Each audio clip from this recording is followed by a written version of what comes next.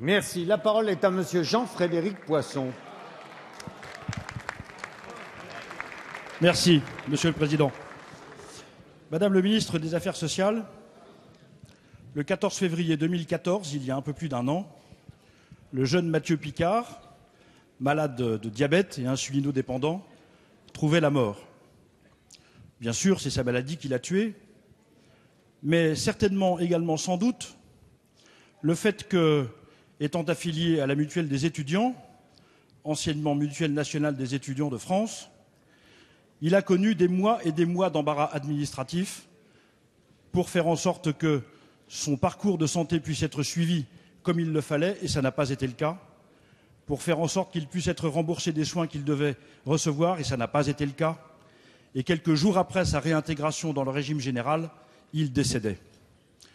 Ce que nous enseigne cet euh, épisode tragique, Madame le ministre, c'est qu'aujourd'hui, la Mutuelle nationale des étudiants n'est absolument plus en mesure de garantir pour ses adhérents ni le remboursement des soins, ni le suivi médical, ni le fait qu'ils reçoivent l'ensemble des thérapies dont ils ont besoin, où qu'ils soient. Ce que démontre cet épisode, c'est que cet organisme a failli sous tout rapport financier, administratif, sanitaire, et qu'aujourd'hui, des centaines, des milliers d'étudiants partout dans le pays sont en danger. Ce qu'enseigne cet épisode, Madame le Ministre, c'est que d'autres organismes de mutuelles étudiantes qui, eux, organisent les soins et les prestations comme il le faut, sont mis en risque de se voir affilier ou trouver d'autres régimes d'affiliation pour leurs adhérents, alors même qu'ils remplissent particulièrement bien leur mission.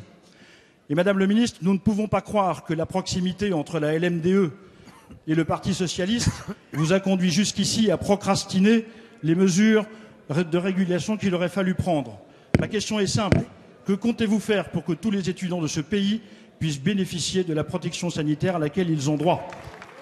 La parole est à Madame Marisol Touraine, ministre des Affaires sociales et de la Santé. Merci, Monsieur le Président, Mesdames et Messieurs les députés, Monsieur le député Poisson. Vous évoquez un cas tragique, le décès d'un jeune homme, et euh, évidemment, nous compatissons avec euh, la douleur de sa famille. Mais je ne peux pas imaginer que vous fassiez le lien, Monsieur le député, entre la situation d'un organisme de sécurité sociale et euh, le décès de ce jeune homme. La LMDE, à laquelle vous faites euh, référence, la sécurité sociale des étudiants, connaît des dysfonctionnements. Pas depuis quelques jours, pas depuis quelques mois. Et euh, cette LMDE, elle connaît des difficultés depuis des années auxquelles les gouvernements que vous avez soutenus n'ont pas apporté de réponse, que je sache.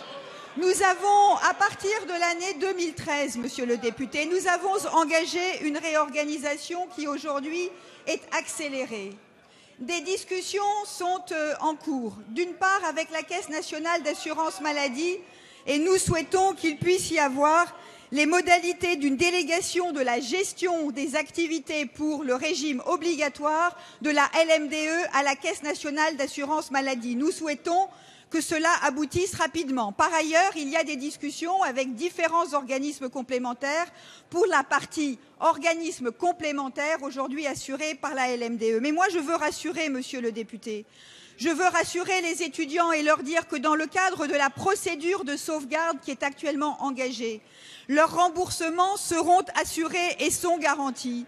Je veux aussi rassurer les salariés de la LMDE et leur dire que nous sommes très attentifs à leur situation professionnelle et à ce qu'ils puissent être repris par les organismes avec lesquels il y a des discussions en cours.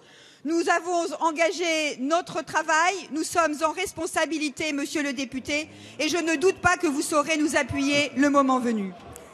Merci, Madame la